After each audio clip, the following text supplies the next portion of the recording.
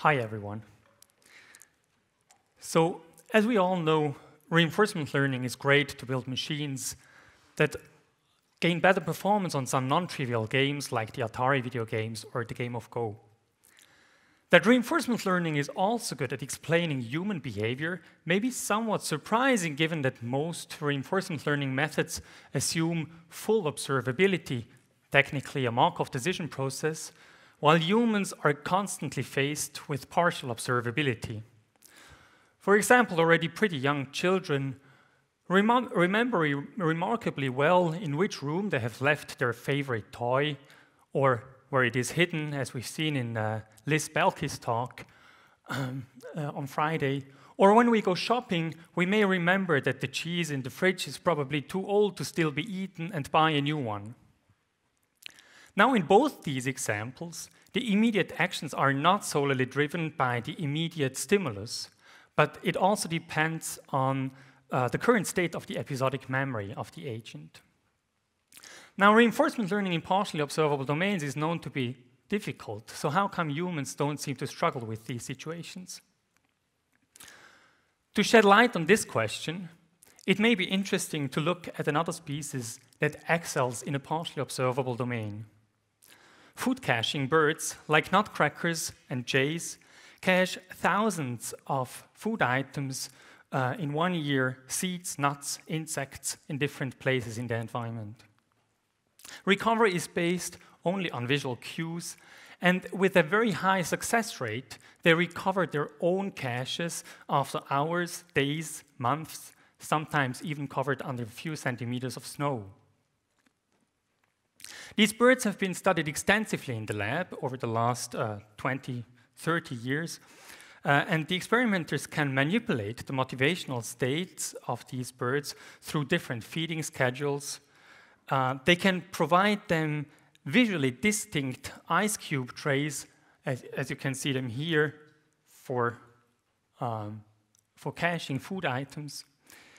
And they can manipulate the retrieval time and the quality of the retrieved food. For example, they can pilfer, that is, steal all the food items in one of the caching trays, but not another one, or they can degrade, that is, turn unpalatable, one of the food types, but not another food type.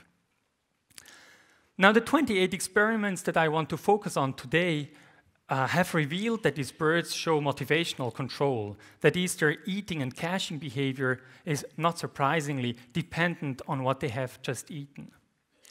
Second, these birds have an amazing ability to remember what they have cached where and how long ago. That is, these birds have an episodic like memory. And third, these birds learn to, uh, to adapt their caching behavior um, to anticipated future needs. That is, they learn to cache in sites that are likely to be accessible uh, when they're hungry in the future.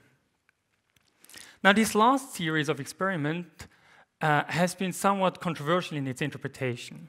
On one hand, these experiments have been taken as evidence uh, for mental time travel, sorry, for mental time travel that is the idea that these birds, at the moment of caching, for example, think back in time, oh yeah, I, I was caching at this site uh, previously, and then at the moment of retrieval, uh, I was not satisfied with the outcome. Maybe some other bird has stolen the food at that site, so better, it's better not to cache again at this site. Or that they look ahead and think, ah, tomorrow morning I will be again nearby this place, so I will be hungry, so I better cache something that I would like to have for breakfast tomorrow morning.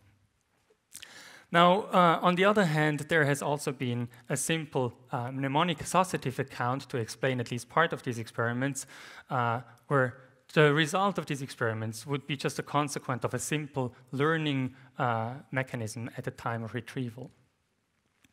Now, one of our goals uh, of this study, pure computational study, was to look at this controversy with a computational model. More generally, we asked the question, can the rich behavior that we see in these 28 experiments be explained with just standard concepts of computational neuroscience, such as associative Hopfield memories or reward modulated synaptic plasticity, that is, model free reinforcement learning? Now, how did we approach this question? The first step was uh, to formalize all the experimental protocols in a model-independent, domain-specific language.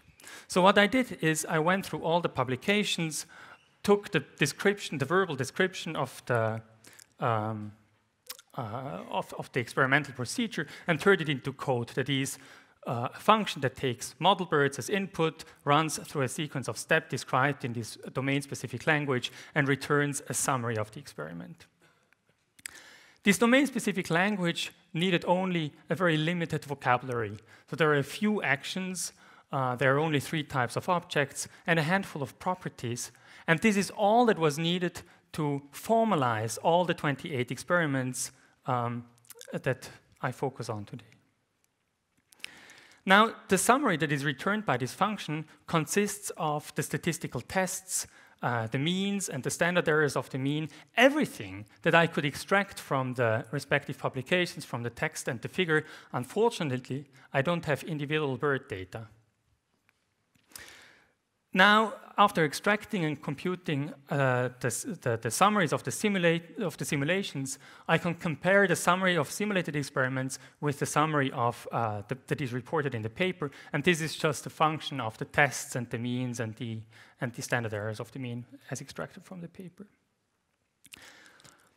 Now, to capture individual differences between birds, I sample all the model parameters that characterize an individual bird from a normal distribution with some mean and the diagonal covariance matrix. This mean and standard uh, deviation is fitted with an approximate maximum likelihood method. And I want to stress here that for everything that I show in this talk today, there is one M and one S for all the 28 experiments. In the abstract that you find online, I fitted the experiments uh, uh, individually. Here, as I said, everything is based on the same set of, uh, of, of parameters, of meta-parameters.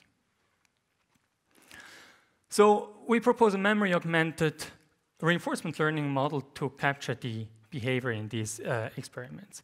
In our model, the probability of an action uh, to eat, cache, retrieve a food item, or do something that is unrelated to the current experiment depends not only on the visual input from which we can extract uh, the food types and the cache site features, but it also depends on three internal states, the hunger variables, the state of the associative memory, and on two types of um, plastic synaptic weights that determine the caching preference and the retrieval preferences. I will now walk you quickly through a brief description of these three internal states, the hunger variable, the associative memory, and uh, the plastic weights.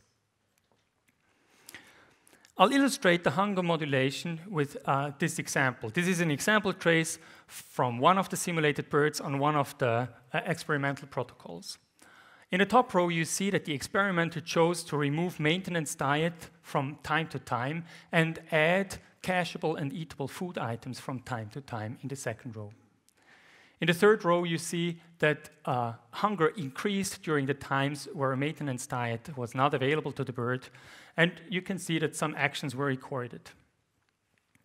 If we zoom into one of these regions, uh, we can see that the number of mealworms and peanuts that were given to the bird in this example decreased over time. So did the hunger variables, I used here not one hunger variable, but multiple hunger variables to capture the effect of specific satiety. That is the phenomenon that even after being satiated on one type of food, birds still like to eat another type of food, like we may still want to eat a dessert, maybe even after being satiated on uh, the main dish.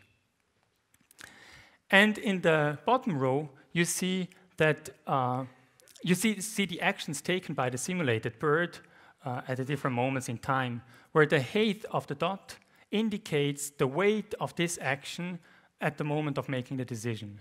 And what you see, can see is that as a consequence of hunger modulation, the weight of the eat and cache actions decreases over time.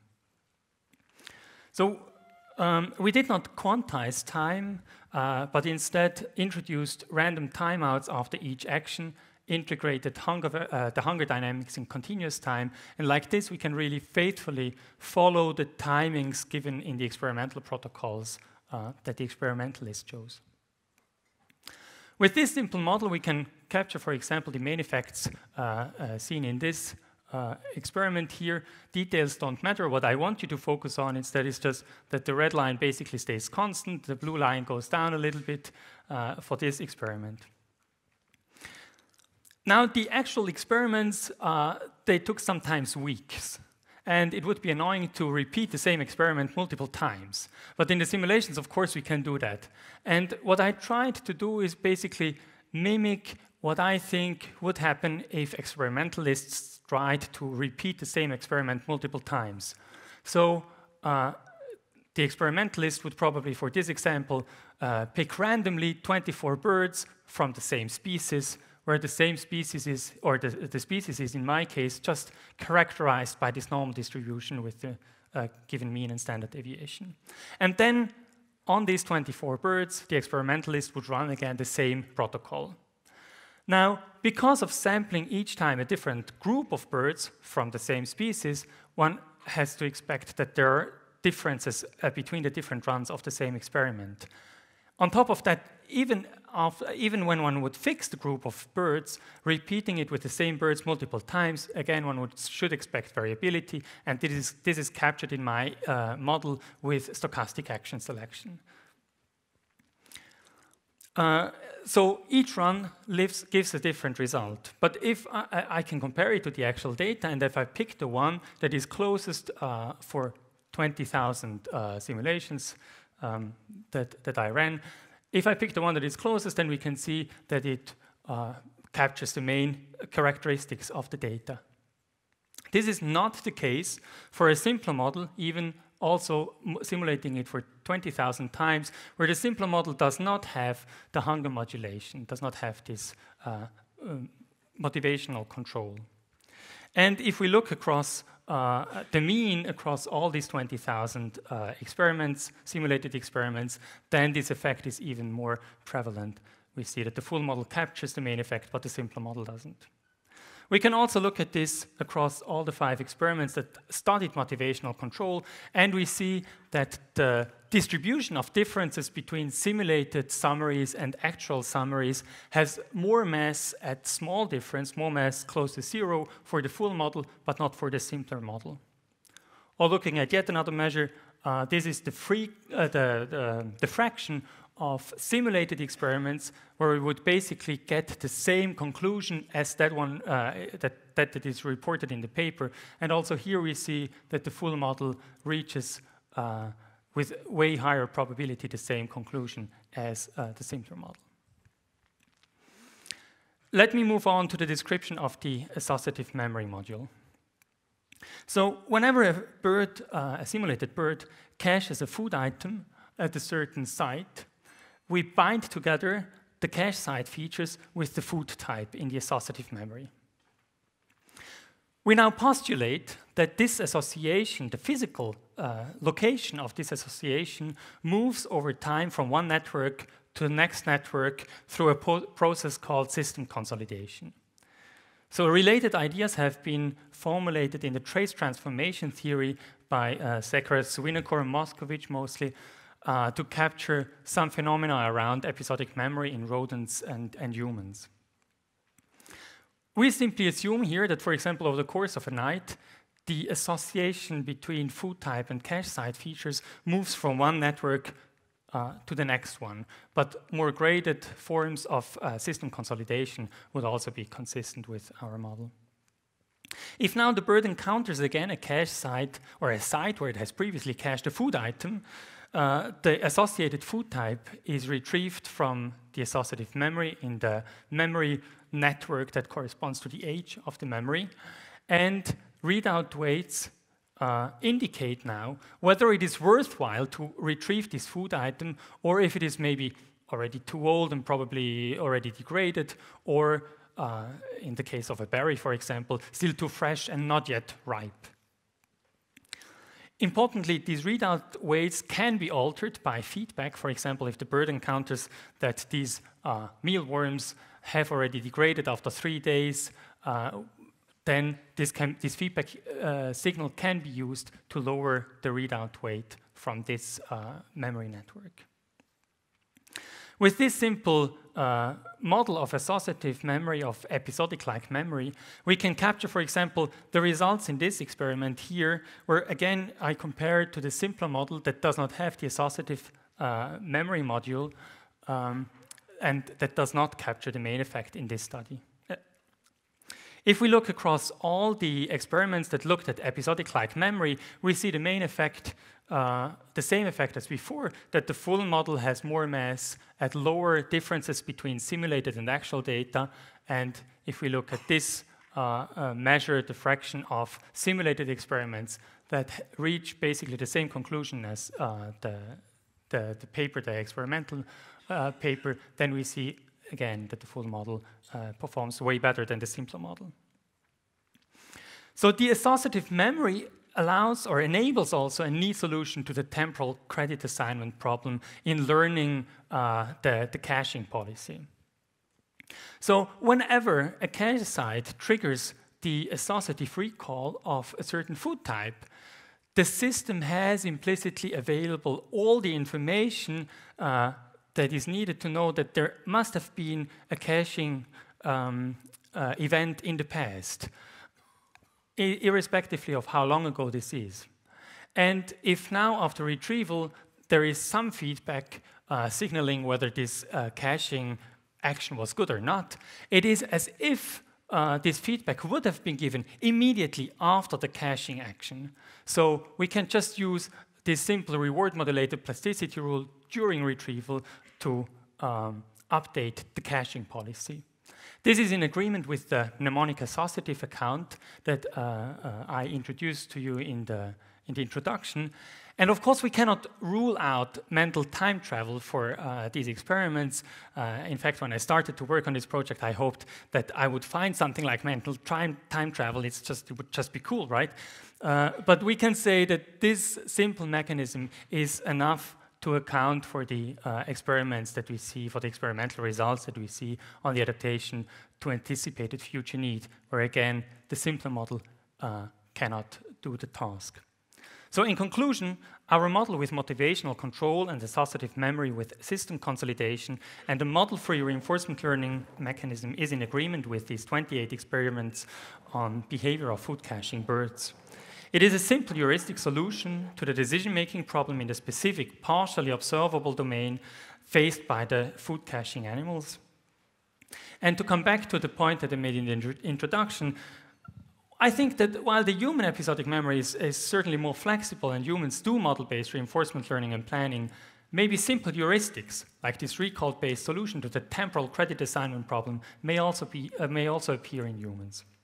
So with this, I would like to thank my wonderful collaborators, uh, and I would like to thank you for staying me, with me despite uh, me talking about food and, and hunger and, and so on. You're probably all hungry. Thanks a lot.